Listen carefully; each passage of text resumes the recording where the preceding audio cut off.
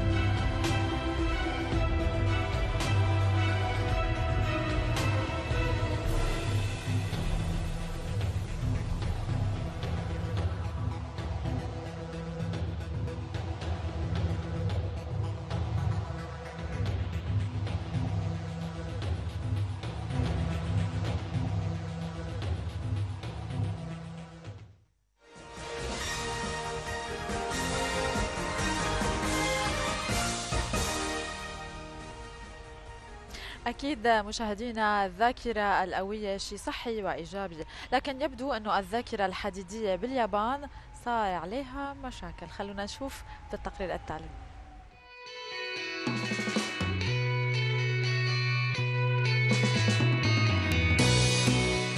بداية أخبارنا المنوعة لليوم. بذكاء وقدراته العجيبة تمكن شاب ياباني من سرقة حسابات بنكية لمئات الأشخاص خلال عمله كبائع بأحد المحلات التجارية. وهالشي بيرجع لذاكرته الحديدية اللي مكنته من حفظ بيانات البطاقات الائتمانية. استطاع يوسوكي تاجيكوجي البالغ من العمر 34 سنة من حفظ بيانات بطاقات الائتمان الخاصة ب 1300 شخص. وهالشي كمان بيتضمن اسم الشخص ورقم البطاقة المكون من 16 خانة وتاريخ الانتهاء ورقم الأمان وهالشي بس خلال ثواني معدودة واللي بتتم فيه عملية الشراء بالمتجر يلي بيعمل فيه. ونجحت السلطات بإيقاف الشاب من خلال عملية شراء قام فيها إلكترونيا. إذا اشترى حقيبتين باهظتين ووضع عنوان منزله عنوان للاستلام حسب ما ذكر موقع أوديتي سنترال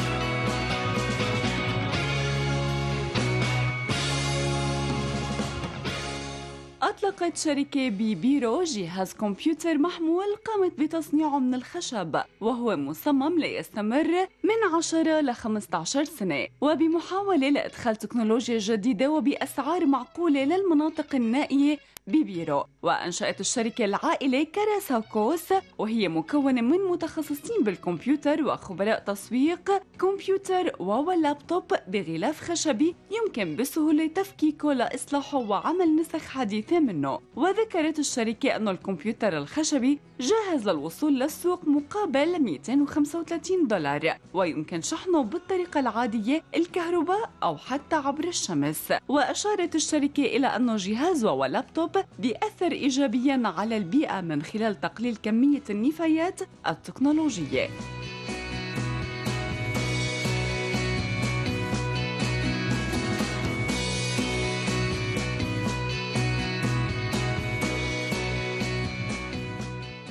أعلن أمجد فؤاد رئيس الفريق الجراحي بمركز الجهاز الهضمي بجامعة المنصورة شمال مصر. نجاحهم من أنقاذ شاب مصري بيبلغ من العمر 20 عام. وأشار رئيس الفريق الجراحي أنهم استخرجوا من بطن الشاب اللي بيعاني من ضمور عقلي 20 ملعقة وأدوات مطبخ ومجموعة من فرشات الأسنان بالإضافة لخواتم وسلاسل ذهبية. وأوضح رئيس الفريق الجراحي أنه الشاب وصل للمركز وهو عم بيعاني من ألم شديدة ببطنه قبل ما يتم إجراء جراحة عاجلة له ومن ثم استخراج الأجسام الغريبة من جسده ونوه لاستقرار حالة المريض بعد جراحة استمرت مدة ساعتين.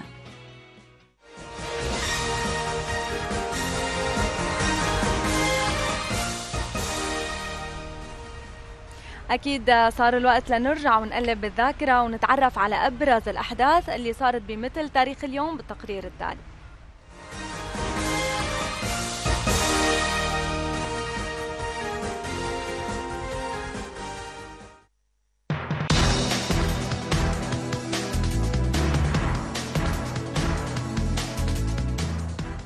تاريخ 12 أيلول. سجلت فيه كثير من الأحداث قراءة سريعة لذاكرة هاليوم بمثل هاليوم من عام 1944 التوقيع على بروتوكول لندن الذي قسم برلين إلى أربعة قطاعات تتبع كل منها لدولة من دول الحلفاء. وفي عام 2005 افتتاح مدينة ديزني لاند في هونغ كونغ. بعام 2013 ناسا تؤكد أن المسبار فويجر 1 غادر في الخامس والعشرين من آب عام 2013 حدود المجموعة الشمسية بعد رحلة استمرت 36 عاماً ووصل منطقة الوسط بين نجمين وهو بذلك أول جسم مصنوع من قبل الإنسان يصل إلى هذا المكان. من الشخصيات يلي شهد تاريخ 12 أيلول على ولادته. بعام 1565 هنري هيدسون. مستكشف إنجليزي وهو أول من اكتشف الطريق البحري الواصل بين أوروبا وآسيا. من الشخصيات يلي شهد تاريخ 12 أيلول على وفاته بعام 1981 أوجينيو مونتالي شاعر إيطالي حاصل على جائزة نوبل في الأدب بعام 1975 وفي عام 1993 الموسيقي المصري بليغ حمدي. هي كانت أبرز الأحداث يلي صارت بتاريخ 12 أيلول نهاركم سعيد.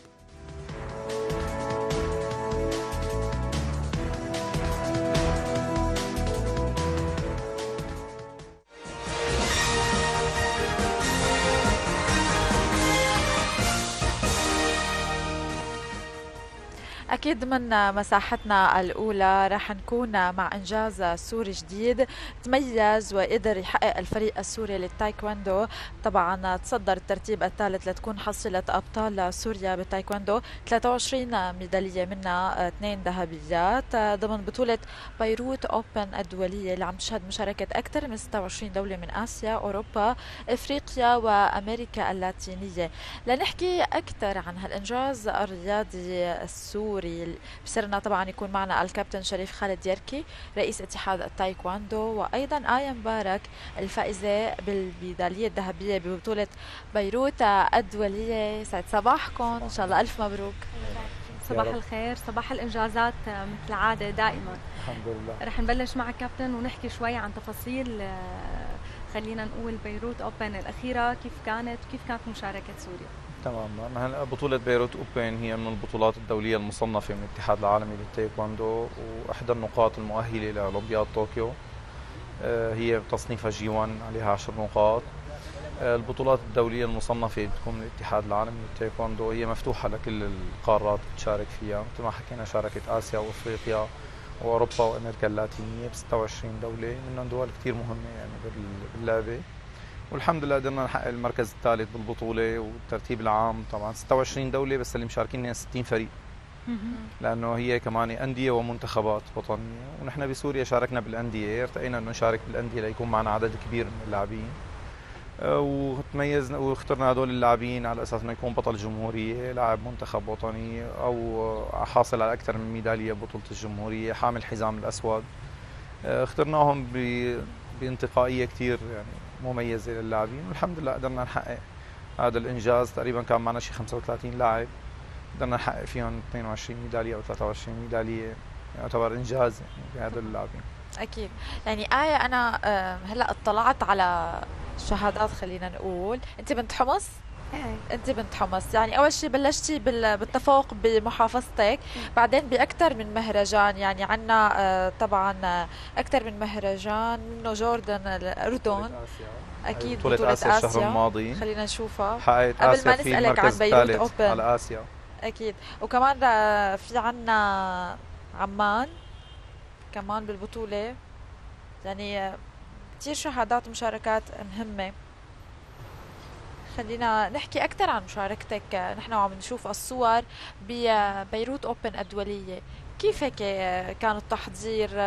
لما أعلنوا النتيجة أنك فائزة بالذهبية كيف كان الشعور؟ أول شيء بلشت أحضر للبطولة أنا ثلاث ثلاث تمارين باليوم مع الكابتن تمام نقري. حتى قدرت أوصل لهالميدالية كثير احتاج يعني إرادة وتصميم. حطيت هدف إني لازم أجيب ذهبية لأنه قبل كنت جايبة ذهبية بالسنة الماضية نفس البطولة. وقلت لازم أجيب هاي تاني ذهبية بنفس البطولة. وكثير فرحت لما فزت ورفعت العلم إنه هذا فخر إلي قدام الدول الثانية إني أرفع العلم يعني أكيد. كابتن مثل ما حكت آية في تدريبات مختلفة ومتعددة. خلينا نحكي شوي عن الفريق السوري. أنتم حرصتوا على تشكيلته أنه يكون من جميع الأعمار أيضا مشاركة. نحكي عن الفرق اللي تنافست معه تماما. أيضا. نحن شاركنا بأربع فئات بالبطولة. اللي هي فئة الأشبال والشبلات. فئة الناشئين والناشئات وفئة الشباب والشابات وفئة الرجال والسيدات. نعم. آه، تنوعت الميداليات طبعا هذا مجموع الميداليات تنوع بين اللاعبين. عندنا فئة الأشبال عندنا اللاعب نيبال الدواليبي حققت ميدالية فضية محمد البعلي ميدالية فضية جنى الصيداوي ميدالية برونزية. آه، بفئة الناشئين. آه، كمان عندنا عبد الرحمن الجرايحي كمان حقق ميدالية برونزية. هاي بفئة الأشبال. طبعا معظمهم هن لاعبين منتخب وطني كانوا مشاركين بأكثر من دورة قبل. بفئة الناشئين كمان كان عندنا ميداليات منها فضية منها برونزية كمان عدة لاعبين منهم عبد اللطيف منهم شمس أحمد منهم آه، سلاف سعود منهم يعني لاعبين منوعين كلياتهم. آه، بلشنا الأدوار التمهيدية تقريبا معظم مبارياتنا مع لبنان باعتبارها دولة مضيفه آه، عندنا نيبال فازت لبنان فازت فنزويلا ورجعت آه، خسرت مع مصر بالمباراة النهائية.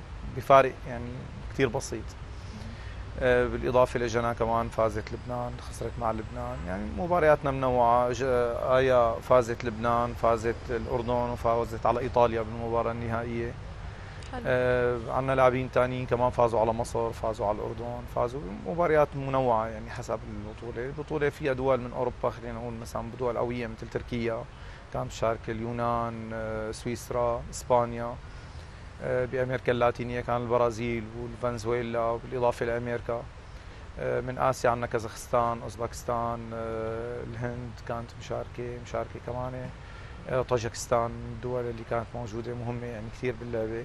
في عندنا مباراة نهائية خسرناها مع طاجكستان يعني هو تعب وإرهاق صار على اللاعبين يعني بيلعب أربع مباريات. أو أحيانا في منهم لعب خمس مباريات لحتى حقق الميدالية تبعيته. فهذا كله دور كان بالتحضير. اللاعبين نحن حضرناهم بمحافظاتهم. باعتبارها هي أندية وليست منتخب وطني فالمنتخب الوطني بيكون معسكره مركزي. الأندية حاولنا نعسكرهم بمحافظاتهم كلفنا بكل محافظة مدرب. آه، طبعا صاحب الخبرة الأكبر اللي عنده مشاركات أكثر. آه، الكابتن تمام النقري كان بحمص كابتن باسم سلامة كمان كان موجود بحمص معه كمان فريق ان اثنين كانوا بيجهزوا باللاعبين. باللاديه كان عندنا الكابتن اسبر إلياس كمان عنده لاعب حقق ميدالية فضية سامي حسن بالبطولة. آه، بريف دمشق كان معنا الكابتن سامر طعمي بدمشق كان معنا الكابتن يوسف صياد وكان معنا أكثر من مدرب وكنت أنا مشرف على يعني بشكل عام على تحضيرات كل الفرق. اشراف عام. يعني آية لما حدا يقول تايكوندو بيقول إنه بدت هيك آه، ناعمة مثلك عم تلعب تايكوندو كيف هيك بلشتي؟ هل هي هواية بالنسبة لك ولا حابة إنك تتميزي فيها وتكملي لبعدين؟ هلأ هي لا ما أنا للبنات ما أنا قصدي إنه للصبيان بس.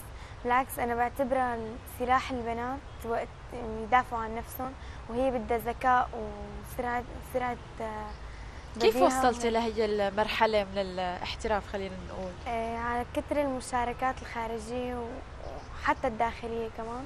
صرت أكتسب خبرة ووقت ألعب كثير مباريات ومع دول قوية أكتسب خبرة منها. تاخذي خبرة. يعني دائما التدريب هو جزء كثير مهم بالألعاب الرياضية عموما. والدعم كان دعم المدربين أو دعم الأهل ويعني والد آية معنا بالكواليس بدنا نقول له يعطيك العافية ومبروك لآية آه، خلينا نحكي شوي عن دعم الأهل وخصوصا كنا عم نشوف الفرق عم تيجي من كل المحافظات عم تكون مشتركة معكم لحتى آه، تمثل سوريا بمسابقات برا وهذا طبعا بده مجهود كبير يعني. طبعا نحن متوجه للشكر أول شيء للأهالي يعني لولا دعم الأهالي وثقتهم بالاتحاد. وثقتهم بمنظمة الاتحاد الرياضي العام ويعني أولادهم كلياتهم بهي الأعمار مسافرين آه، معنا من عمر التسع سنين تقريبا للشباب اللي بعمر ال 20 25 سنة. فالأهالي اللي ما عندهم ثقة كبيرة بالمدربين وبالاتحاد والمنظمة بشكل عام وإنه يرفعوا علم سوريا وتشجيعهم لهي الإنجازات ما رح نقدر نعمل أي إنجاز بهذا الموضوع. دور الأهالي كان كثير له كبير بهالدعم بهي البطولة آه، إن كان معنويا ولا ماديا ولا بكل المفاصل يعني تبع هي المشاركة. آه، لقينا تقبل كثير كبير وقت فتحناها للأندية البطولة حاولوا معظم اللاعبين أو أكثر اللاعبين على المشاركة. الأندية دعمتهم الأهالي دعموهم الاتحاد وفر لهم كل متطلبات المشاركة من تسجيل من سفر من حجوزات فندقية من تثبيت مشاركة للاعبين عدد كبير يعني نحن أول مرة يمكن بسوريا بالتايكوندو بنشارك بهذا العدد بهيك بطولة. آه، بالعادة بتعرف المنتخبات بتكون مقصورة على 10 لاعبين خمس لاعبين. العدد اللي بيكون محدد للأوزان المشاركة. وبيكون لاعب واحد بالوزن. أما بالبطولات مثل هي الأوبن المفتوحة الكبيرة بيكفينك تشاركي بأكثر من لاعب بنفس الوزن. يعني حتى عندنا بسوريا في عندنا أكثر من لاعب بنفس الوزن وهن نفسهم اللاعبين حققوا كمان لهم مراكز. حلو. يعني اثنين بنفس الوزن مثلا عندنا نيبال دواليبي جانا صيداوي اثنين حققوا المركز الثاني والثالث. آه، والحمد لله يعني كان إنجاز كثير كبير وحصلنا على المركز الثالث. يعني كان أكثر من متوقع كان بالبطولة. الحمد لله. المهم دائما الثقة كمان بهالشباب يعني اللي عم تدربوهم كبيرة لحتى وصلوا لهون. آية خلينا نحكي شوي عن الفرق اللي تحديت فيها إن كان ببيروت أوبن أو خلال مشاركاتك الدولية. إنه أكثر فريق هيك صعب كان عم تتحدي. واحكي لنا عن المراحل يعني كل مرحلة كيف كنت تحققي إنجاز تطوري حالك لتنتقلي للمرحلة اللي بعدها؟ أول شي بلشت ببطولة طرطوس بطولة جمهورية. أخذت المركز الأول بال 2014 2015 بعدين بطولة دمشق مركز أول. وبطولة السويدة كمان مركز أول بطولة الجمهورية بعدين بلشت شارك ببطولات خارجية. أولها كانت بطولة الفجيرة بال 2018 أخذت الميدالية الفضية. بعدين شاركت ببطولة بيروت أوبن بال 2018 حققت الميدالية الذهبية. بعدين 2019 بلشت ببطولة روسيا بطولة الصداقة. أخذت الميدالية البرونزية. وبطولة الفجيرة بال 2019 أخذت الميدالية البرونزية. بعدين إجت بطولة آسيا كمان أخذت الميدالية البرونزية. وآخر شيء هلأ بطولة بيروت أوبن بال 2019 ميدالية ذهبية. برافو عليكي. يعني حصيلة مشرفة دائما لكل لاعبينا ومثل ما ذكرت الأسماء اللاعبين نيبال كمان من اللاعبين اللي كانوا معنا بصباحنا غير أكثر من مرة آه، خلال حصولها على آه، كذا ميدالية. خلينا نحكي شوي عن الاستمرارية بالتدريب قد إيه مهمة وخصوصا يمكن في آه، ببلشوا بأعمار مختلفة أو حتى نقول مهارات مختلفة قدرات مختلفة. طبعا هو بالدور الأول بيرجع مثل ما حكينا للأهل وللاعب نفسهم. إذا هو ما عنده التزام بالتدريبات وبأوقات التدريب المدرب موجود بكل الأوقات. نعم. يعني هو جاهز إنه يعطي كل اللي عنده للاعبين. إذا اللاعب ما له ملتزم ما حيتطور. اللعبة بدها التزام. الدراسة ما بتعيق الرياضة بالنهاية. كلياتنا كنا ندرس كلياتنا درسنا وتفوقنا كلياتنا شهادات جامعية وإن شاء الله هن بكرة كمان كلياتهم بيتقدموا. وايه من المتفوقين بمدرسة المتفوقين بحمص ومن الأوائل بمدرسة المتفوقين. فاللي بيقول لك رياضة بتعيق الدراسة أو هي أو هي حجة لل يعني بده يلاقي سبب يعني لحتى لحتى لحتى يبعد هيك شوي عن الجو.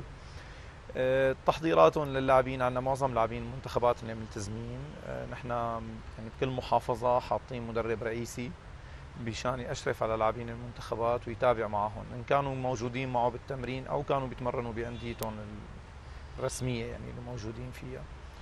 إيه، والحمد لله يعني إن اللاعبين معظمهم ملتزمين معظمهم متابعين حابين يعملوا شيء لسوريا.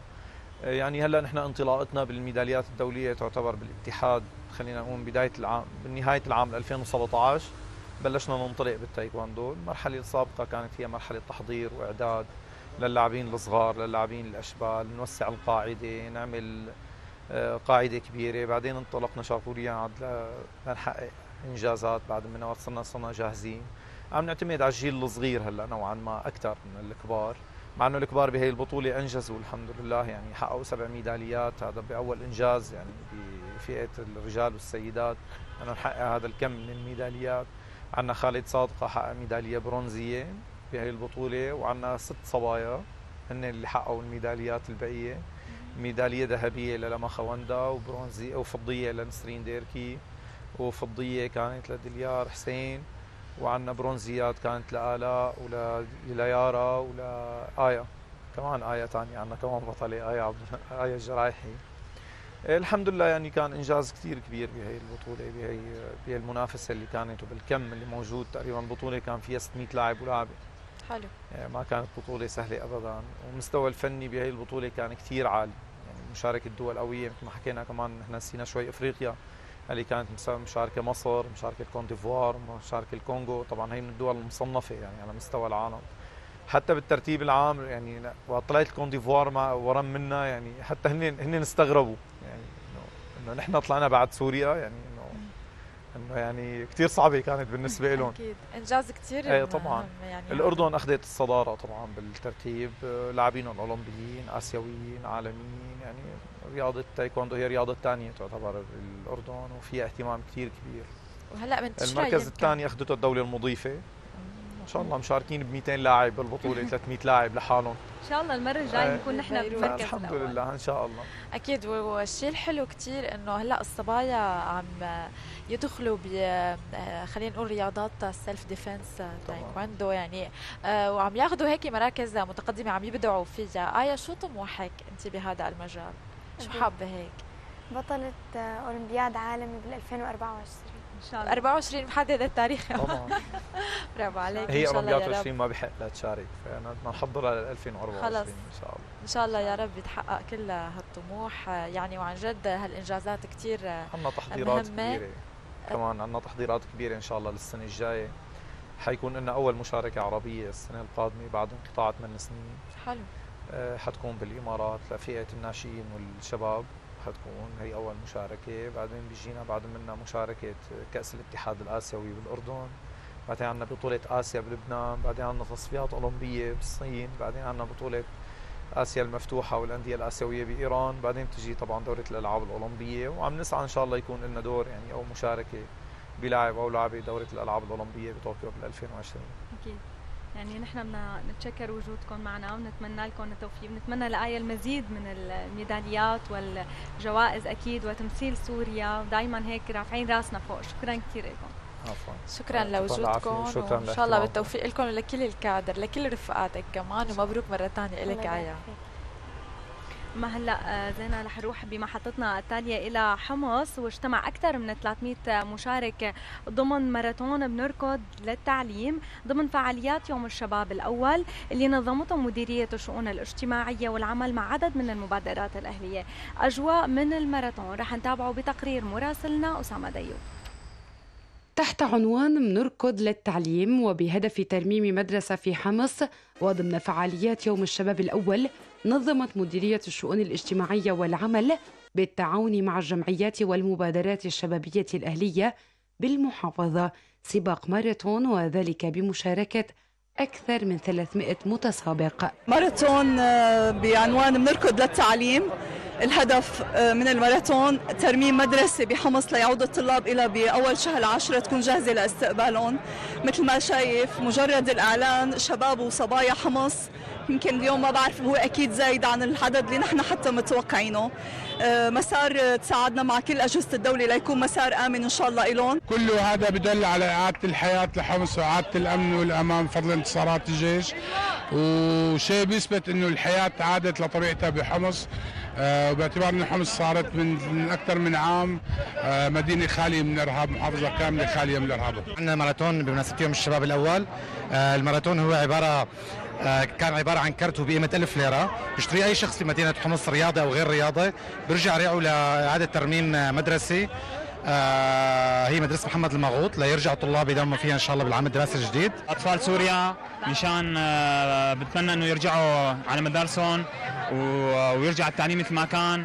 وتتحسن الرياضة إن شاء الله. في ختام الماراثون توج وكرم الفائزون الذين تنافسوا بهدف دعم العلم ولإثبات أن الشباب السوري قادر على العطاء وهو الذي سيبني سوريا الأجمل.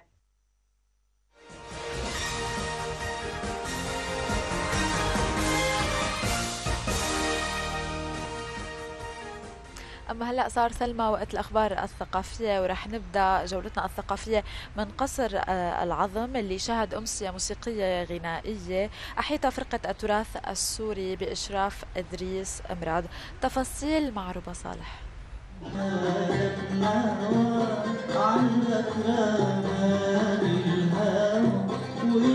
مشاركة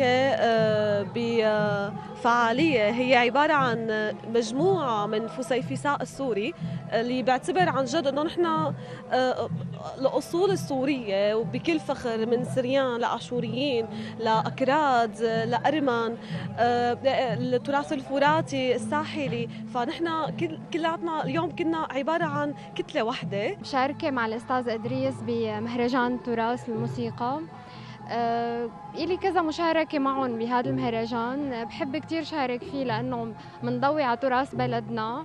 ودائما يعني بنرجع للطرب الأصيل يلي يمكن شوي عم يضيع بهالأيام أو عم نفقده.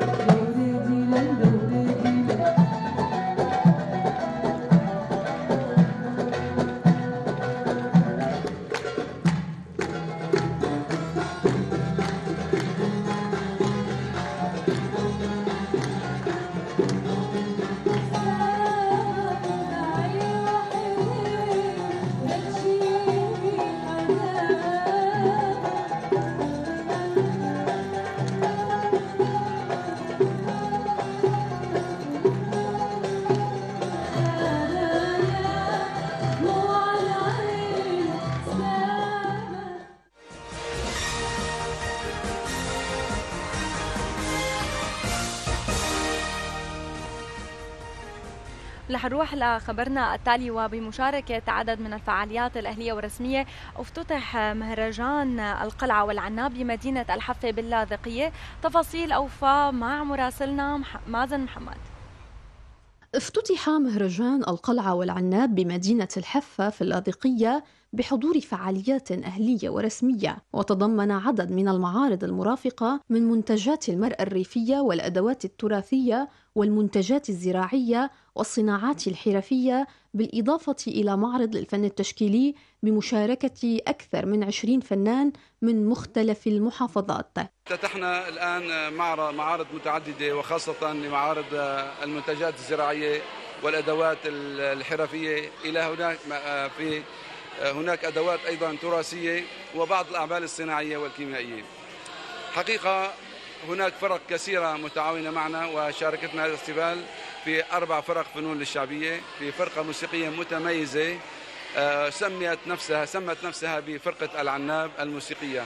شاهدنا هذا الحضور الجميل هذا الحضور الكثيف لأبناء المنطقة الحفة اللي عانت فترات أو فترة كانت قصيرة والحمد لله من الإرهاب اليوم تعود لتعيش بأحلى آه، طلة وبأحلى مشوار وبأحلى مهرجان مع شبابنا ومثقفينا وأدبائنا بمهرجان قلعة والعناب تناوبت كل من فرق أبناء الشمس وفرقة أوسكار الدولية للفن الراقص وفرقة رمال على خشبة مسرح المركز الثقافي على تقديم عروض موسيقية ورقصات تراثية وفلكلور شعبي. طبعا صممنا أنا وخيي هالدولاب الكهربائي هذا آه لاستخلاص خيط الحرير من شرنقة دود الغاز. نسحب الخيوط على هالدولاب ونحصل على الخيوط. هاي المادة الخام الأولية وبعدين بتتعرض لعملية الغزل هي الغزل هي عبارة عن فتل الخيط أو عدة خيوط بخيط واحد لنهيئه لمرحلة النسج. أنا مشاركتي هي السنة الثالثة على التوالي, يعني بالمهرجان القلعة والعناب. أنا بنظم له آه، فأنا شاركت بأعمال آه، يعني اشتغلت آه، تناولت العناصر البيت العربي. يعني مع تزاوج التزاوج بين العناصر البيت والزخارف والعناصر التراثية والموروث الشعبي. يتضمن المهرجان الذي يستمر ثلاثة أيام ندوات ثقافية وشعرية بالإضافة إلى حفلات فنية بمشاركة عدد من الفرق الموسيقية منها فرقة العناب وفرقة أفراح سورية للمسرح الراقص وفرقة القيامة للغناء والموسيقى.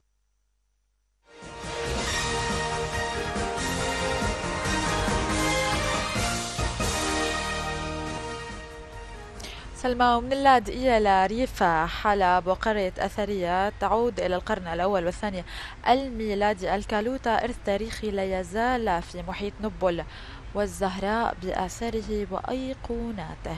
تقرير مع مراسلنا مصطفى كوسة. تتوزع في سوريا آثارا تاريخية كثيرة تعتبر شاهدا على عراقة السوريين.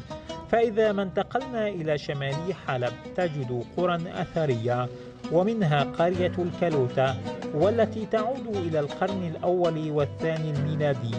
أطلق عليها تسميات عديدة حيث أنها تحتاج لاهتمام كبير للحفاظ على هذا الإرث التاريخي. هناك أربع آراء بالنسبة لتسمية هذه القرية. رأي يقول بأنها من آه، كالميرون وكالميرون تعني كأس ميرون وتعني الشحيحة من اللغة السريانية. وهناك رأي آخر يقول بأنها لا هي المقصود منها كلمة عالوتا وتم تحريف هذه الكلمة عبر اللهجات المتكررة لتصبح كالوتا. وعالوتا هي المكان المرتفع. وهناك رأي آخر يقول بأنها كيلوت من اللغة الكردية وبالتالي كيلوت تعني المسقف نسبة إلى مار مارون المسقف طبعا آه، أنا من خلال الدراسة التي أعددتها عن هذه المنطقة وهي رسالة ماجستير عن طراز الكنائس في الكتلة الكلسية بين القرن الرابع والسابع الميلاديين آه، تبين لي بأن هذه المنطقة بحاجة ماسة إلى الاهتمام بشكل آه، سريع في معظم مبانيها الموجودة. نشوف بعض الكتل التي مع التيارات الهوائية فهي قابلة للتحرك. بصراحة هذه الأمور بحاجة إسعافية آه، للتحرك من المديرية العامة للآثار والمتاحف. تضم بلدة الكالوتا عدة كنائس ومباني تمتد إلى عمق التاريخ وتعتبر هذه المنطقة غنية بالآثار حيث تتواجد عدة قرى محيطة بها منها براد وخراب شمس وقلعة سمعان. هذه الكنيسة الموجودة في قرية كالوتي وهي أحد الكنائس آه، الثلاث الموجودة في قرية كالوتي. تعتبر آه، من أهم الكنائس الموجودة في هذه القرية إذ أنها تعود إلى القرن السادس قبل الميلاد حسب آه، معظم الدراسات. وتكمن أهميتها في أنها كانت في القرن الأول والثاني الميلاديين كانت عبارة عن معبد وثني. وهذه المنطقة تضم العديد من المواقع الأثرية المختلفة بالإضافة لكالوتي يوجد لدينا خراب شمس القريب من هنا. يوجد لدينا براد آه، المكان الذي دفن فيه مارمارون آه، يوجد لدينا آه، قلعة سمعان. عراقة وحضارة تاريخ وأمجاد. شهدتها هذه المناطق التي ستبقى شاهدا ودليلا للعالم أجمع عن غنى سوريا وتميزها تاريخيا. تعتبر هذه القرية الصغيرة هي واحدة من عشرات القرى الأثرية في المنطقة التي تعود إلى آلاف السنين مما يدل على حضارة وغنى هذه المنطقة الجغرافية من سوريا. للإخبارية السورية مصطفى كوسة ريف حلب.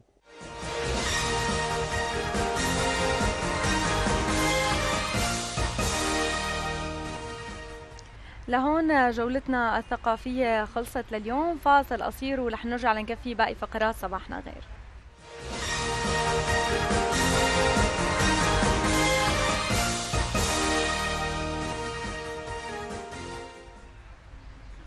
نعم.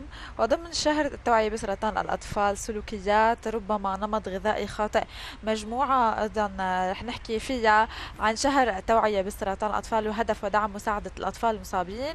أنهت جمعية سوريا اليمامة بالتعاون مع الجمعية السورية لعلاج سرطان الأطفال المرحلة الثالثة من تقديم الجرعات الكيماوية وخدمات طبية أخرى لمرضى السرطان بمحافظة الحسكة. أحمد الحمدوش.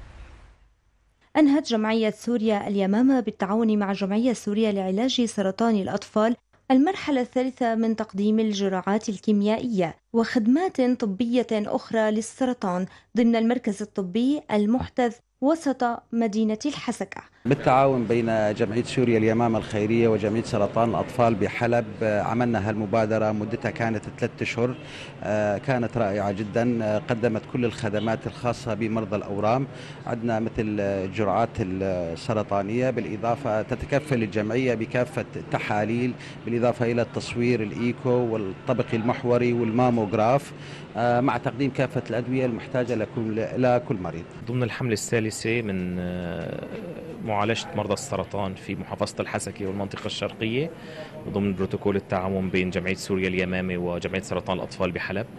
آه، أتينا في المرة الثالثة من أجل أخوتنا مرضى السرطان لتأمين آه، كافة المستلزمات لهم لكي نوفر عليهم السفر إلى محافظات أخرى.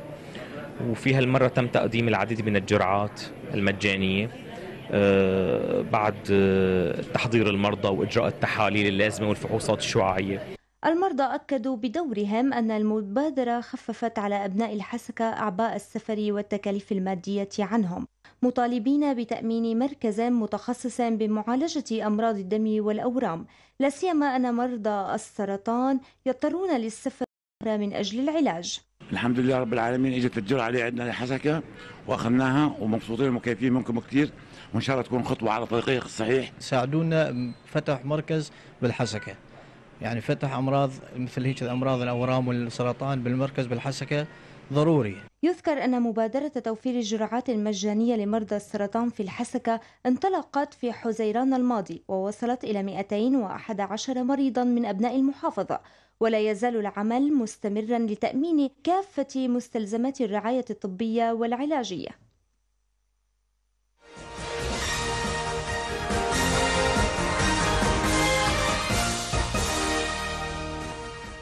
ومستمرين بتغطيتنا عن مرض سرطان الأطفال ضمن شهر التوعية الخاص بهذا المرض. وكان لنا وقفات خلال برنامج صباحنا غير مع جمعية بسمة لرعاية سرطان الأطفال. رح نحكي اليوم ونتعرف أكثر عن آه، كيف وناخذ جرعة آه، من النصائح والتحذيرات اللي لابد منها آه، لتنتبه فيها كل أم لضمان صحة أطفالها. وأيضا نتعرف على الأسباب والأهم لعلاج هذا المرض. وكل هاي المعلومات من ضيفتنا لليوم الدكتور الدكتورة غادة نادر سوسان رئيسة شعبة أورام الأطفال بمشفى البيروني. يسعد صباحك وأهلا وسهلا صباحك فيك أهلا وسهلا فيكم يا هلا. يسعد صباحك دكتورة غادة. نحن قبل ما نبلش نحكي معك أكثر وناخذ نصائح. رح نروح نشوف كمان تقرير عن مجموعة من النصائح الوقائية اللي ممكن مرتبطة بيمكن سلوكيات خاطئة نمط غذائي خاطئ آه، ممكن يأثر على آه، أطفال السرطان. بالتقرير التالي.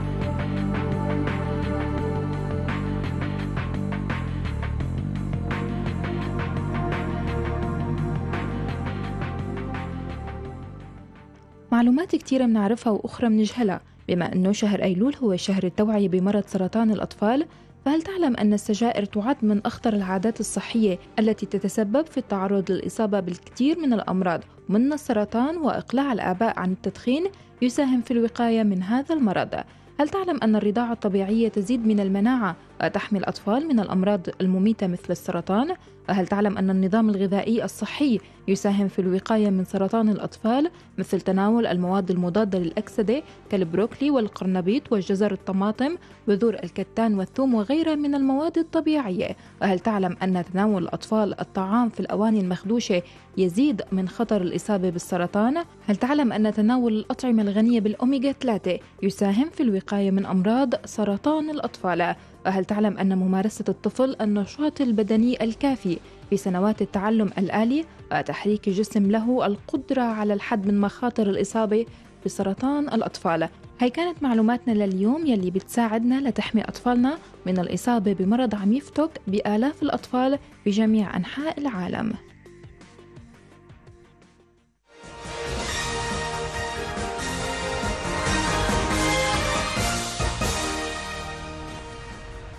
صباح الخير عن جديد دكتورة غادة. خلينا نبدأ مع حضرتك. يمكن سمعنا شوية نصائح بالتقرير شو رأيك بالمادة بداية؟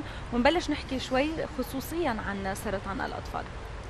هلا سرطان الأطفال آه، هو مثله مثل سرطان البالغين. الأسباب تقريبا آه، المتواجدة متشابهة طبعا باختلاف النسب. آه، السرطان بصورة عامة بيحدث بسبب إما عوامل بيئية أو عوامل جينية وبالجزء الأكبر منه هو مجهول السبب. إلى الآن ما قدرنا نعرف السبب الرئيسي له السرطان طبعا بيصير لما بتبلش خلية من خلايا الجسم تتكاثر بشكل غير طبيعي.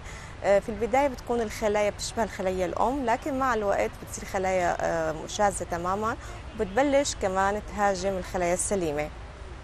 العوامل البيئية اللي حكينا عنها هي لها دور أكبر عند البالغين سواء كان نمط الحياة نمط التغذية التدخين التلوث كلها هي العوامل لها دور طبعا بسرطان الأطفال لكن دورها الأكبر كعامل بيئي بيكون بسرطان البالغين.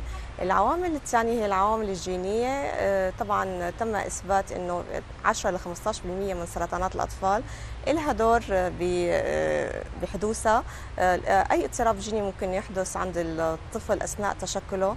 ممكن يأهبه لهذا الموضوع. طبعا مو كل أنواع السرطان في عنا سرطانات مثل سرطان العين اللي هو الورم الأروم الشبكي ريتينوبلاستوما ممكن يكون له علاقة بالوراثة. سرطانات مثل سرطان الكلية ورم ويليامز ممكن يكون له علاقة بالوراثة.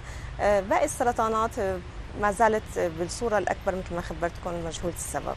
مجهولة السبب. لكن خلينا نحكي أكثر مثل ما سمعنا بالتقرير والنصائح الوقائية كثير في من العادات الخاطئة اللي ممكن يعني هلأ نصها صار بديهي بالنسبة للعالم ونص الثاني لا لسه مجهول كمان. خلينا نحكي عنه أكثر.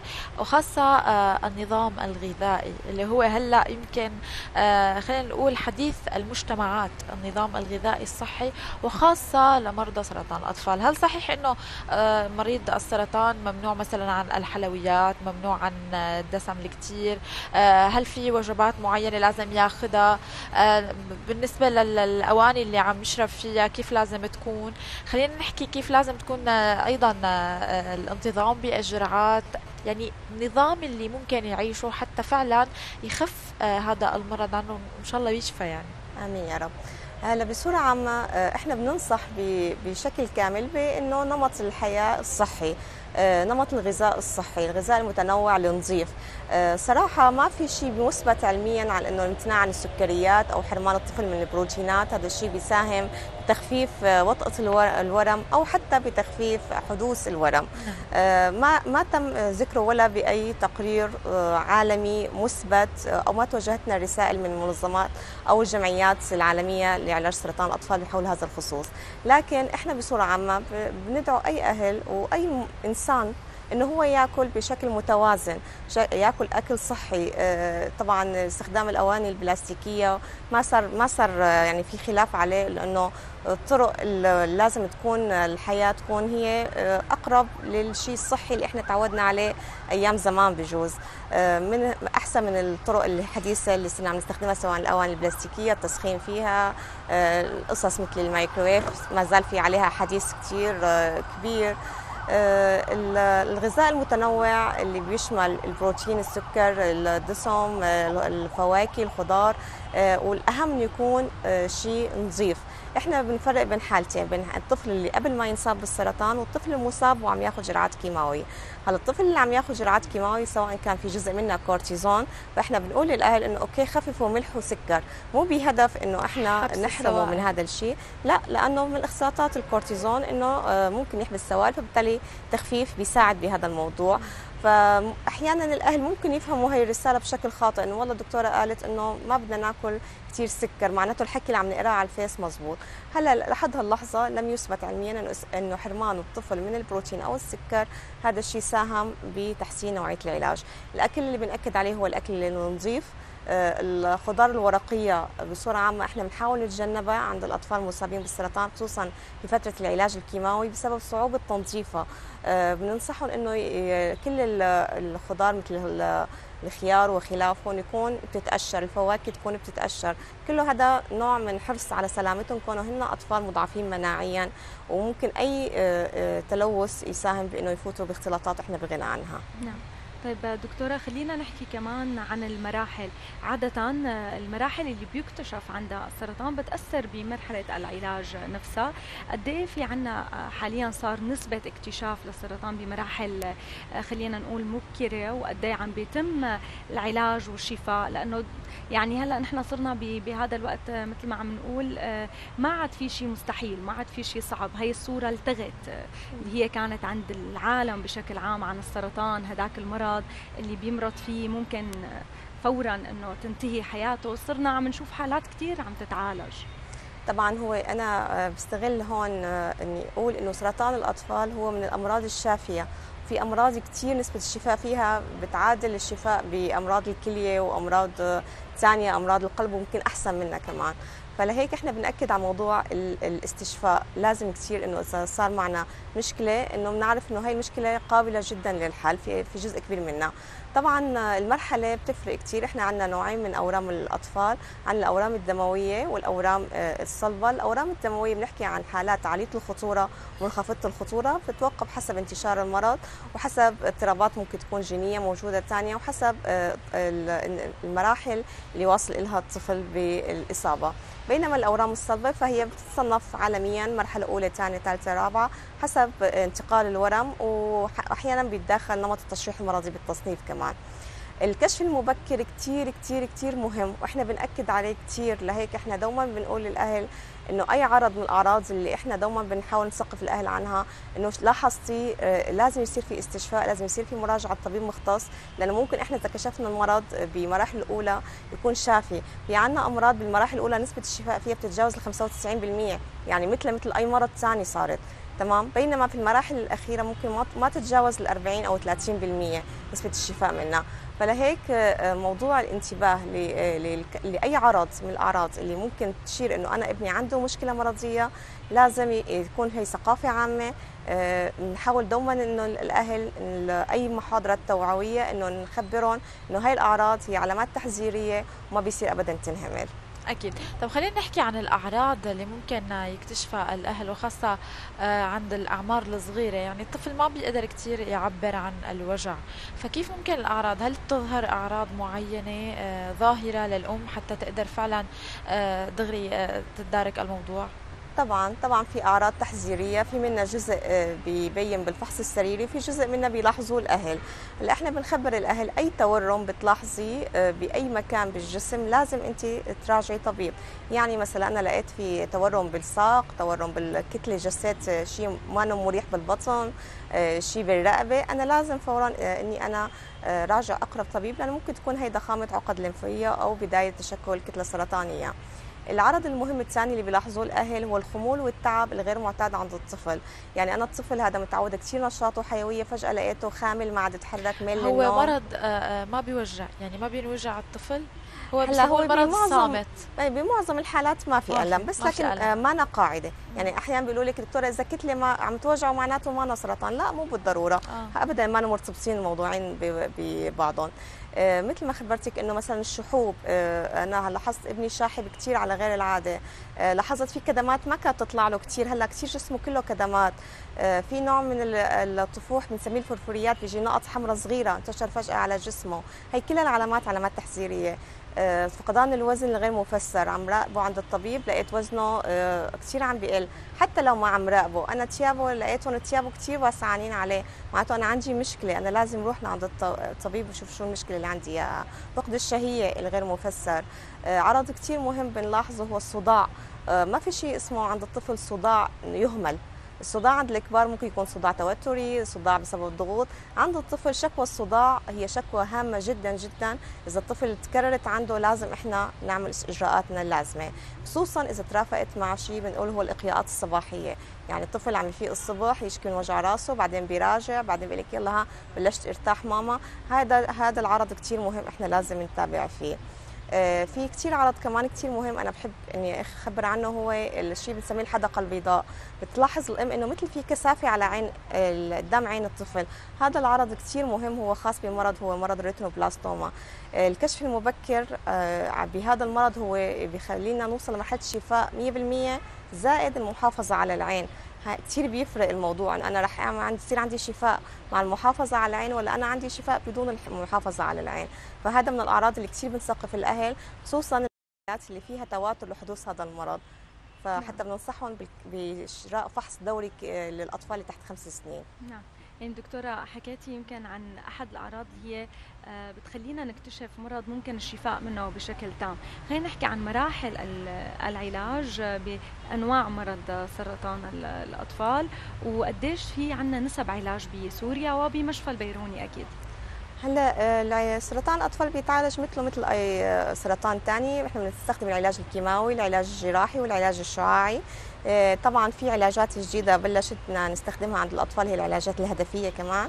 في شيء عالمي آه، لسه ما دخل عنا بس هو لازم ينذكر هو العلاج الكارتيسيل أو العلاج آه، بالطرق المناعية اللي هن بيخلوا الخلايا المناعية الليمفاوية للجسم آه، بيعرفوها على الخلايا السرطانية وبيرجعوا بفوتوها على الجسم هي لحالها بتهاجم خلايا الورمية بدون ما نعطي أي علاج متمم. ما زالت الحالات قليلة لكنها نتائج كثير واعدة وإن شاء الله يا رب عن قريب يدخل عنا هيك علاجات. علاج الكيماوي طبعا إحنا بنعطيه في له اختلاطاته المعهوده اللي بنعرفها لكن هو علاج آه، الاشيع والأكثر استخداما عند الأطفال. آه، بالأورام العظمية بالأورام بعض الكتل البطنية كمان الجراحة بتدخل كعلاج ثاني كخط ثاني للعلاج. طبعا العلاج الشعاعي هو أقل استخداما لكن في بعض الأمراض هو حجر الأساس بالمعالجة. أكيد. ف... ونسب الشفاء عندنا أنا بعتبر ببلد مرقت بحرب 8 سنين فانا بعتبر ان نسبنا كثير كثير ممتازة. آه، حاليا صار عندنا حتى زرع النقي اللي هو رح يحسن إن شاء الله النسب. إحنا بدون زرع نقي إلى الآن عم نتجاوز ال 65% نسبة الشفاء. وهي مقارنة بالنسبة بالنسب العالمية اللي هي 80 85% نسبة أنا بلاقيها جدا مقبولة. لأنه آه، مثل ما قلت لك بلد تتعرض لكل هاي القصص اللي مرقنا فيها ولساتنا بمراحلنا الأولى للزرع النقي. فأنا بعتبرها النتيجه ممتازة. وبتمنى كل الشفاء لكل اطفالنا أكيد نحن بنتمنى هالشيء وخاصة أنتم كادر مشفى البيروني كان بمنطقة خطر ومع هيك ضل المشفى يعني قايم وعم يستقبل كل الحالات بكل حب ومودة. آه، خلينا نحكي كمان بالنسبة للأهالي. هل في من أمور أو فحوص دورية المفروض يعملوها للأطفال وقائيه خلينا نحكي بالجانب الوقائي شوي. آه، تماما.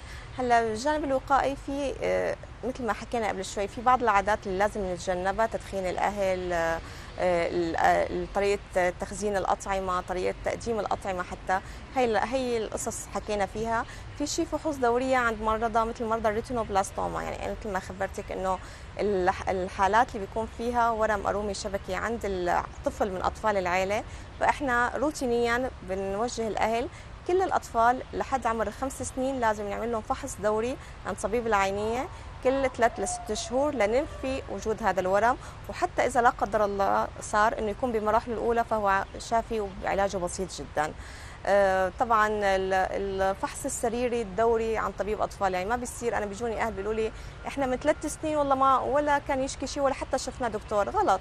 غلط إنه أنا ثلاث أربع سنين ابني ما مرقوا عن طبيب آه، حتى بشكل طبيعي يعني مراقبة الطفل السليم هلا صارت من القصص الصحة العامة اللي إحنا بندعوه كل الأهالي إنه في شيء اسمه مراقبة الطفل السليم.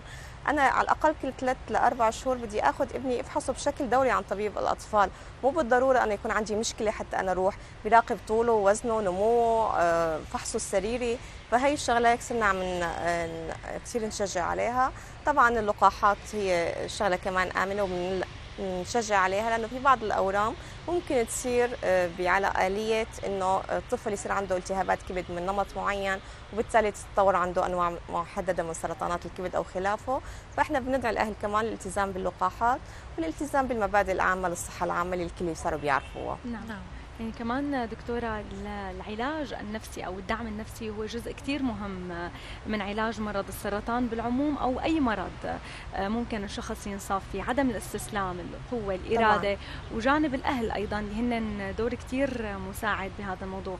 حالات كتير شفيت عرفنا أنه في حالة من الحالات اللي شفيت عنكم وتابعتوها من فترة حضرتي عرسة خلينا نحكي عن هي الحالات والنماذج وقد هي فعلا بتأثر على المريض يعني. واحد واحد حس بنفس الوجع وشافه قدامه شفي آه، إحنا في شغله عملناها السنة الماضية وكانت كثير لها أثر إيجابي جدا. كنا كنا بأول ما رجعنا فتحنا الشعبة وجددناها بعد الحرب. كان في تخوف كثير من الناس إنه هذا المرض بيطيب ما بيطيب. آه، في مجموعة من الشباب والصبايا اللي هن كانوا شافيانين من المرض حوالي أربع أو أكثر من من خمس أو ست سنين ماري على شفائهم وبدون نكس. عملوا مبادرة كثير لطيفة إنه إجوا حتى منهم وحدة صديقتنا يعني هي صارت صديقتنا حاليا. تزوجت وإحنا احتفلنا فيها إنها إنها قدرت تتجاوز كل مراحل المرض وتنسى كل المعاناة اللي مرقت فيها. إجوا زاروا الأطفال عنا بالقسم وورجوهم حالات مشابهة. يعني لك هذا له أنا كان عندي نفس مرضك بنفس المرحلة وليك نطبط وأنت ليه متشائم؟ ليه خايف؟ ليه كذا؟ كثير هذا الشيء دعم مو بس الطفل دعم الأهل. لأنه أحيانا إحنا بنحس إنه الأهل أحيانا لازم يتوجه لهم جزء من الدعم النفسي لأنه هن كثير بيأثروا على الطفل. يعني الشخص الكبير بجوز بكفي تدعميه نفسيا تكوني قادرة إنك توصلي للنتيجه اللي بدك إياها. لكن بسرطان الأطفال بدك تدعمي الشقين الطفل والأهل لحتى توصل للنتيجه اللي بدك إياها. عندنا دوما نشاطات دورية من عدة فرق آه، للدعم النفسي. في عندنا فريق بالمشفى بحد ذاته فريق آه، قوس قزح لدعم الأطفال آه، من ناحية طبية هو من العاملين بالمشفى فقط. عملنا هيك مجموعة صغيرة تعمل نشاطات حفلات أعياد ميلاد للاطفال بحيث إنه الطفل ما يحس حاله إنه أنا قاعد بالمشفى وما ما عم شوف شيء حتى في صبايا صاروا يبلشوا يعطوهم بعض المبادئ التعليمية إنه ما يروح عليك الدرس علمناك الأحرف علمناك كذا. نعم. هي القصص كثير دعمت الطفل ودعمت الأهل. أكيد. أكيد. لكن آه، أكيد جهودكم كلها مشكورة. بالنهاية هيك في عندك حالة كثير علمت بذاكرتك كانت قوية. شو عم تتعلمي من التعامل مع الأطفال؟ نحن بنعرف مدى التعلق. حتى بين الطبيب وبين المريض وخاصة إذا كان طفل. والله أنا تعلمت منهم القوة يعني صدقا الأطفال المصابين بالسرطان بتتعلمي منهم القوة. بتحسي بالقوة بتحسي حالك انه انت آه، آه، قادرة تكوني صبورة قادرة تكوني آه، تتعاملي مع كل الأمور بكثير إرادة إرادة الإرادة. الإرادة هي شيء رائع عند الأطفال. نعم. نعم. يعني بدنا نتشكر وجودك معنا. شكرا كثير لك وبنتمنى دائما الشفاء لكل أطفالنا ولكل مريض. شكرا لك بشكر الإعلام وبشكركم كثير ويعطيكم ألف عافية. شكرا أكيد لوجودك معنا وإن شاء الله الشفاء العاجل لكل مرضى سرطان الأطفال. شكرا لكم كثير شكرا لكم أما هلأ سلمى ننتقل على الاستديوهات الإخبارية السورية للاطلاع على أهم المستجدات على الساحة السياسية العربية والعالمية مع زميلتنا علا أبو خضر. يسعد صباحك علا. يسعد صباحك زينب وشكرا لك مشاهدينا نبقى مع موجزين لأهم وآخر الأنباء ولكن بعد الفاصل.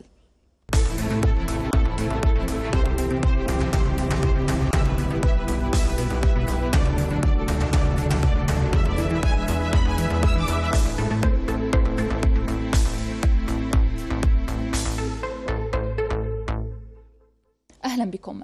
داهمت دوريات مؤللة تابعة لميليشيات قصد المدعومة من قوات الاحتلال الأمريكية حي خشمان في مدينة الحسكة واعتقلت 30 شخصا من أهالي الحي.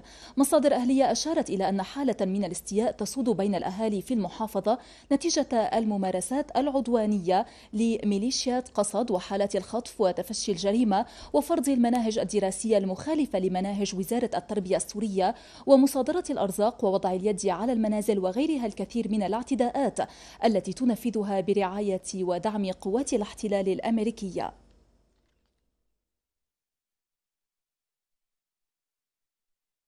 جدد طيران الاحتلال الإسرائيلي عدوانه على قطاع غزة المحاصر مستهدفا منطقة بيت لاهيا شمال القطاع كما دوت صافرات الإنذار في المستوطنات المحاذية للقطاع.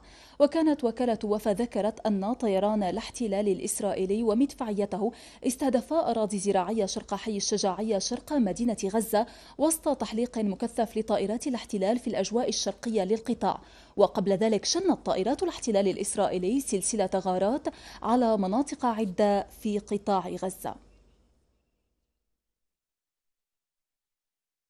إلى العراق حيث أسقط الحشد الشعبي العراقي طائرة مسيرة حاولت استهداف مواقع للجيش العراقي في محافظة ديالا شرق البلاد. وقال الحشد الشعبي في بيان إن الفريق التكتيكي التابع للواء 26 في الحشد رصد الطائرة واستخدم المعدات التقنية التي يمتلكها وأسقطها بنجاح. وأضاف البيان أن الطائرة كانت تستطلع تمهيدا لاستهداف قطعات الجيش العراقي خلال الأيام المقبلة لكن قدرة قواتنا وسرعتها حالت دون ذلك.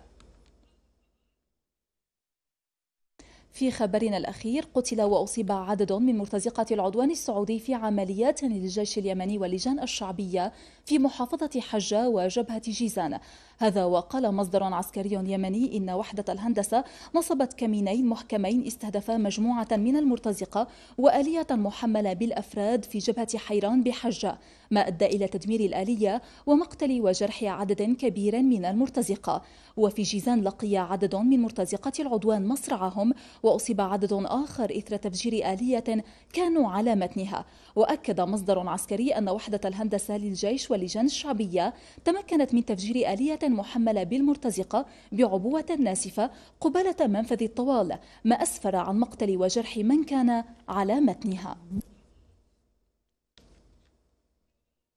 بذلك نكون قد وصلنا إلى ختام الموجز والآن عودة إليك زينب.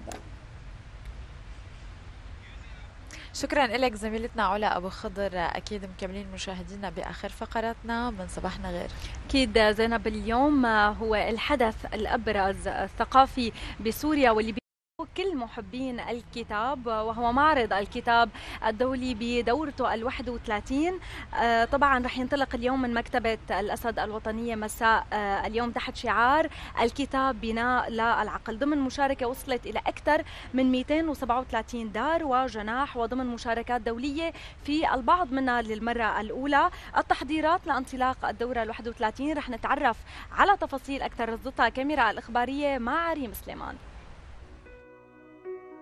تحت عنوان الكتاب بناء للعقل. تستعد اليوم مكتبة الأسد الوطنية لاستقبال المثقفين والمهتمين من كافة شرائح المجتمع في معرضها الدولي الحادي والثلاثين والذي سينطلق اليوم بمشاركة واسعة من دور النشر ودول مشاركة لأول مرة لما يضمه من عناوين وإصدارات جديدة لهذا العام. حقيقة دور النشر دخلت إلى أرض المعرض أدخلت كتبها عناوينها الجديدة. الآن المعرض حقيقة يزدان بالكتب الجديدة. رفوف المعرض امتلأت آه، دور النشر المشاركة كلها استكملت إجراءاتها. حتى إدارة المعرض استكملت إجراءاتها لإقامة حفل الافتتاح. نتوقع أن تكون هذا العام المشاركة جيدة ونوعية حقيقة. هذا من جهة. ومن جهة ثانية أيضا أن يكون الحضور الجماهيري نتطلع أن يكون آه، يعني يتناسب مع أهمية هذا الحدث الثقافي الكبير الذي تشهده دمشق. أسعار وعروض مميزة للقارئ السوري بالإضافة للأجنحة الخاصة لاستقبال الأطفال من وسائل تعليمية حديثة لتنمية المهارات لديهم بما يناسب أعمارهم. عندنا وسائل تعليمية خشبية للأطفال. الوسائل تستهدف الأطفال من عمر صغير. الوسائل هي عبارة عن قطع خشبية إنه الطفل بعمر صغير مثل ما بتعرفي ست شهور لسنة لسنتين لثلاثة ما بيعرف يقرأ لسه. فنحن بنستهدف هذا العمر لحتى نوصل له الفكرة يتعلم الألوان يتعلم الأشكال الهندسية يتعلم المطابقة. كل هي القصص. من أهم الدور اللي معنا معنا دار الفارابي دار النهضة العربية. هن مشاركين بشكل مباشر لكن نحن مشرفين على اجنحتهم آه، معنا مركز دراسات الوحدة العربية. آه، معنا دار آفاق مصر. آه، دار الجمال. معنا دار صفصافة مصرية كمان. ومعنا دار ألكا عراقية. آه، العناوين تقريبا ما بين الدراسات الفكرية الفلسفية بالأخص الفلسفة الماركسية والفلسفية عموما في دراسات سياسية وفي القسم الأكبر أدب أدب مترجم بالأغلب. عندنا شيء مميز هي السنة كمان نحن لكل فاتورة قيمتها بتزيد 2000 وما فوق آه، نسخة مجانا. لكل حدا بيشتري وقيمة الفاتورة هيك. في عنا كمان شيء يعني تقدير لتضحيات الجيش آه، العربي السوري. رح نقدم آه، ثلاث نسخ لذوي آه، لذوي الشهداء والمخطوفين والجرحى من الجيش العربي السوري اللي نحن شو ما قدمنا شيء شو ما قدمنا لهم بيكون شيء كثير صغير قدام التضحيات اللي قدموها لنا لأنه نحن لولا هون ما كنا موجودين حاليا. يبقى معرض الكتاب ملتقى ثقافي نوعي على مستوى عدد المشاركين ونوعية الكتب حيث تم التأكيد على العناوين التي تهتم بقضايا المجتمع والإنسان والحداثة المواكبة للتطور والأصالة على حد سواء.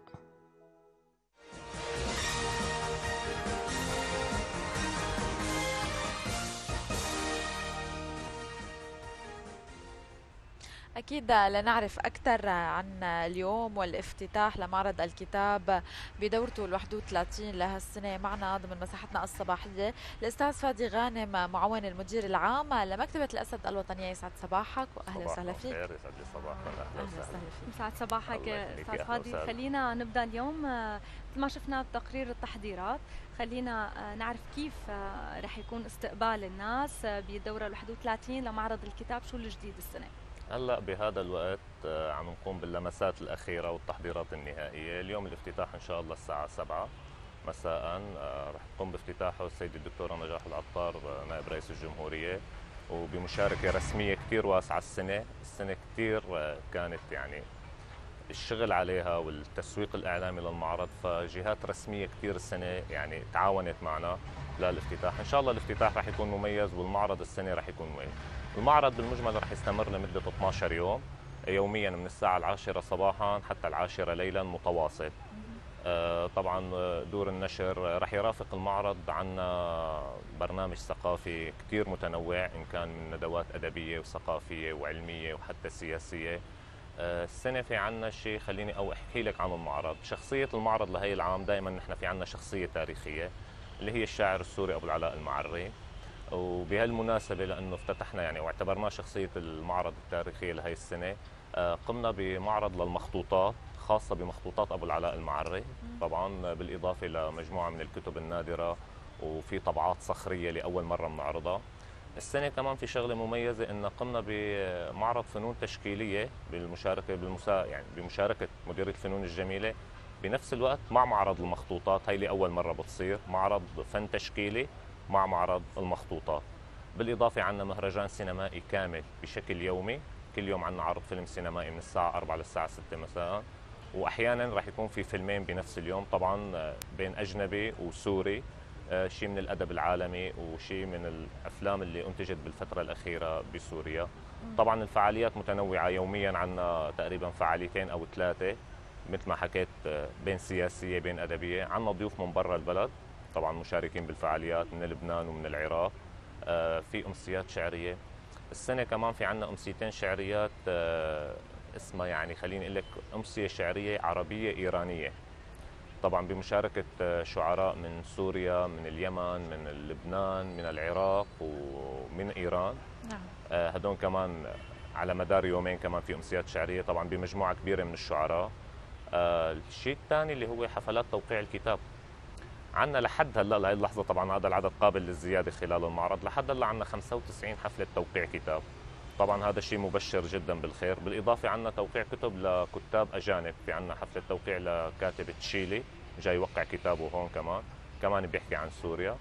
والمعرض مثل ما حكيت يوميا من الساعة بالحب إلا يوم الجمعة من الساعة 4 للساعة 10 بالليل. نعم. لكن آه، قلنا بالمقدمة أنه 237 آه، دار وجناح مشارك تماما. بالدورة 31 لمعرض الكتاب. خبرنا أكثر عن المشاركات الدولية وشو المميز هلأ بهي الدورة؟ هلأ السنة في عنا مثل ما حكيتي حضرتك 237 دار نشر، هلأ هي متوزعة بين دور نشر سورية من لبنان من مصر ومن العراق. بالإضافة عنا كمان من الدنمارك السنة. آه، والإضافة للوكالات اللي بتجينا كمان من دور النشر اللي بتاخذ وكالات كمان في من تونس في من السودان في من الإمارات. آه، في عنا هيئات دولية السنة كمان مشاركة معنا. عنا سفارة إندونيسيا لاول مرة بتشارك آه، المركز الثقافي الروسي مشارك المستشارية الإيرانية. عندنا مؤسسة المعارض الإيرانية هي تابعة لوزارة الثقافة الإيرانية كمان هي السنة مشاركة لأول مرة. بالإضافة للهيئات الحكومية والمنظمات الخاصة عنا بالبلد وجامعات خاصة كمان في مشاركة كثير واسعة منه نعم. كلها على مستويات ثقافية وعلمية محترمة نعم. يعني آه، كل سنة بيكون في نشاطات مرافقة لمعرض آه، تمام. الكتاب ضمن مكتبة الأسد إن كان ندوات إن كان آه، حفلات توقيع كتب أيضا فعاليات تخص الأطفال مشاركات فنية السنة الماضية كان في مشاركة للفنان القدير دريد لحام وغيره من الفنانين تمام. السوريين خلينا نحكي السنة هل رح يكون في نفس هذا البرنامج ومين رح يكون مشارك؟ هاي السنة كمان نفس السنة الماضية نحن مثل ما قلت لك كل سنة عم نحاول نسعى لبرنامج السنة. برنامجنا الثقافي بقدر أقول عنه كثير مميز لأنه شامل ومتنوع. يعني بتقدري تاخذي من الأدب للثقافة للسينما للسياسة لكل المجالات المعرفية اللي بنقدر نعملها. السنة فعلا عندنا نحن عندنا ندوتين سينمائيات مثل ما حكيتي حضرتك. آه، خلال عندنا فيلمين راح ينعرضوا فيلمين سينمائيات آه، اللي هو فيلم دمشق حلب اللي هو للمخرج عشان ما أغلط للمخرج باسل الخطيب وفيلم رجل الثورة للمخرج نجدة أنزور وبعد الفيلم بعد عرض الفيلم رح يكون في ندوتين للمخرجين.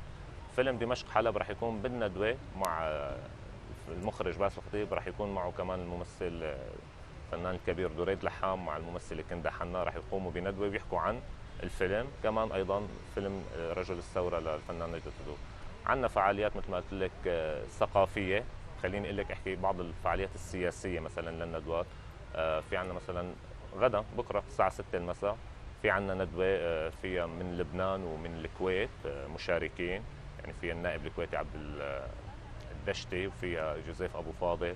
في عندنا الشاعر محمد علي شمس الدين كمان في من العراق جواد الأسدي في فاضل الربيعي. أيضا هذول من الكتاب المسرحيين المعروفين جدا على مستوى المسرح. كله مشاركات بالإضافة للمشاركات الداخلية السورية. أكيد. خلينا نحكي لك عن المشاركات المحلية أيضا. نركز عليها شوي. بما أنه عم تقول في كثير يمكن المشاركات الوجوه الجديدة الشابة هل في كمان أسماء معروفة محلية؟ طبعا الأسماء المحلية أيضا معروفة إن كانت من الشعراء أو من الندوات السياسية. يوجد مثلا لدينا حفلة توقيع كتاب آه، مع ندوة آه، بعنوان كتاب آه، الرجل الذي يوقع للدكتورة بوسينة الشعبان يشاركها غسان بن جدو في الفعالية. لبعض الشعراء المحليين. أيضا كما تحدثت أنه شخصية العام هي أبو العلاء المعري يوجد ندوة عن أبو العلاء المعري كشخصية تاريخية وفلسفية بالإضافة لندوة عن المخطوطات التي تختص بأبو العلاء المعري. نعم. يعني مشاركات عديدة ومهمة ويمكن أيضا اتحاد الكتاب العرب يكون له آه، مثل ما بنعرف الجناح الخاص فيه المميز. خلينا نحكي شوي كما عن كل عام اتحاد الكتاب العرب هو شريك معنا. كل المنظمات التي في سوريا كما التي تعنى بالكتاب والثقافة هي مشاركة معنا وشريكة معنا. اتحاد الكتاب العرب كما كل عام لديه جناح خاص به. آه، عدد المشاركات تقريبا يصل إلى 1300 عنوان. آه، لن أستطيع أن احصي لك الأسماء أكيد. لأنها كثيرة فوق ال 500 مؤلف. من منشوراتهم التي تندرج ضمن الأدب والروايات والعلوم الإنسانية وأدب الأطفال وأيضا سلاسل الكتب التي يتخصصون فيها والمميز في دار اتحاد الكتاب العرب أنهم البيع عندهم بحسميات عالية جدا شبه نعم. مجانية فايضا لديهم مشاركات بالإضافة للندوات والفعاليات التي تقوم لدينا. نعم، لكل المهتمين كمان بمعرض الكتاب بهي الدورة، هل في له موقع خاص، صفحة خاصة بتعرض النشاطات اليومية اللي حتكون، المشاركات المهمة الندوات حتى يقدروا يتوجهوا ويحضروها؟ طبعا يوجد صفحة خاصة بالمعرض على الفيسبوك آه، خاصة بمعرض الكتاب وستقوم بعرض الفعاليات أو بالتهيئة قبل الإعلان عن الفعاليات قبل بيوم تحديدا على الندوات والفعاليات والأمسيات التي ستقوم بالمعرض بالإضافة إلى موقع مكتبة آه، الأسد أيضا يقوم بالنشر تباعا على ما سيتم في المعرض والأحداث التي تتم فيه نعم. يعني أستاذ فادي بدنا نشكر وجودك معنا ونتمنى لكم التوفيق شكرا اليوم وأكيد حضوركم وإن شاء أكيد رح نكون متواجدين ويكون لنا تغطيات خاصة آه، خلال فترة المعرض على شاشة الاخباريه شكرا لك. شكرا لكم. شكرا. شكرا لوجودك معنا وبالتوفيق إن شاء الله بهي الدورة. شكرا لك. شكرا لكم. يعني وصلنا لختام صباحنا لليوم. زينب نتمنى من كل المشاهدين يلي كانوا معنا نكون قدمنا معلومة مفيدة خلال هذا اليوم. أكيد ما بدنا ننسى ندعو الكل يكون متواجدين آه، بافتتاح معرض الكتاب ويكونوا متواجدين خلال هاي الأيام. هي فرصة لحتى نرجع للصديق الوفي يلي آه، بيضل معنا وين ما رحنا وين ما كنا بجنبنا وهو الكتاب. بتمنى لكم بقية نهار كلها طاقة وخير وتفاؤل. وصحة وعافية تبقوا بألف خير زينب. وانت كمان سلمى وأكيد بدي أقول لجميع مشاهدينا اللي ما قدر يحضرنا صباحا الساعة 9 آه، احضرونا الساعة 1 بالليل إضافة لصفحات الإخبارية اللي عم تعرض كافة البرامج. وأكيد بنتمنى لكم بقية نهار هيك مع العائله حلو ومليء بالبهجة والسرور والعافية. شكرا لمتابعتكم و bye bye. Bye bye.